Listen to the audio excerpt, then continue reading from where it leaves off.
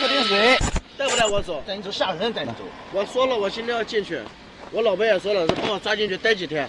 今天你不带我走了，真的，领导，你打我也行。你构不成那个。这样子啊，哎，我滚！带不带我？你干嘛去啊？别老过来。我今天没喝多，带不带？行行行行行，我带你。带不带？带带带带带带带带带。我带你。好，带带带。我带你。我上去啊！对对，我现在带。来。我来我来，你别动了。